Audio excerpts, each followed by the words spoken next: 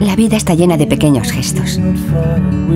Y con ellos a veces conseguimos otros más grandes. En Consumo hemos creado una bolsa para que descubras que cada día quitas más peso a la desigualdad de lo que piensas.